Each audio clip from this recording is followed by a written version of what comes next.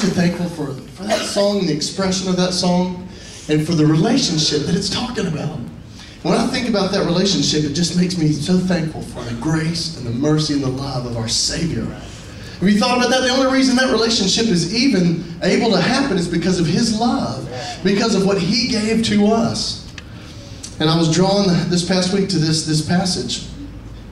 In uh, Galatians 3, verse 10, it says, All who rely on observing the law are under a curse.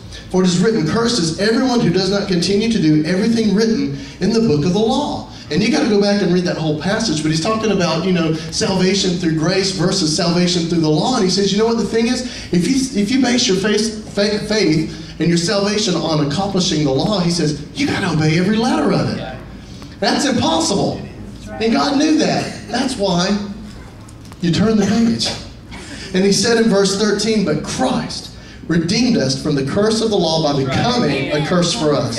For it is written, Cursed is everyone who has, is hung on a tree. He redeemed us in order that the blessing given to Abraham might come to the Gentiles through Christ Jesus, so that by faith we might receive the promise of the Spirit. Is anybody thankful for grace today? Anybody thankful for the love of God? Praise God for the awesome love and grace that He has shed on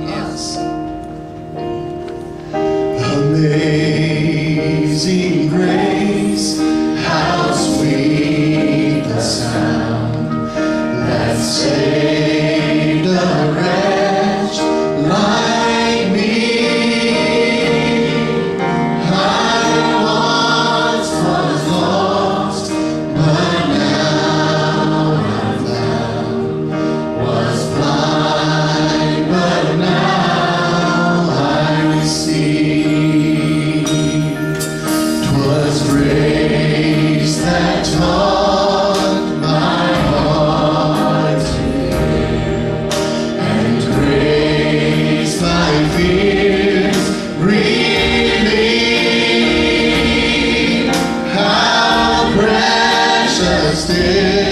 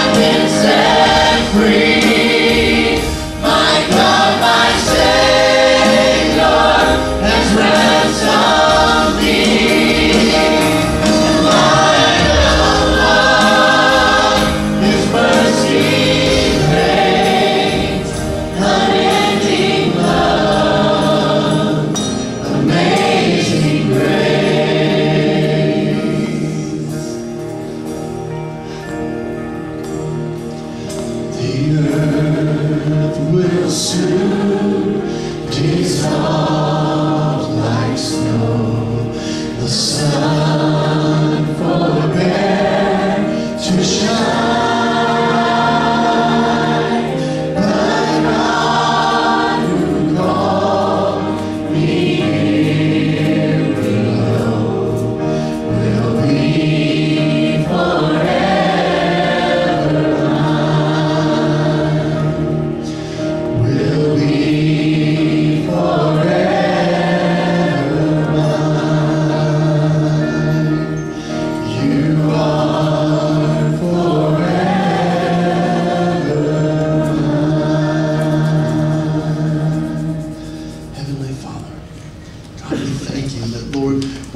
verse of that song comes true, the earth dissolves away the sun shines no more, we stand before your throne, Father. That God, we plead the grace and the blood of Jesus Christ.